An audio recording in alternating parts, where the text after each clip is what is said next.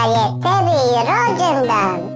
Sretan ti rođendan želim od srca ja, da ti je rođendan vesel, da ti puno poruka dođu na mobitel, da ne stigneš ih ni otvarat, koliko silni prijatelji se s tebe sjete, kao što sam se sjetio i ja.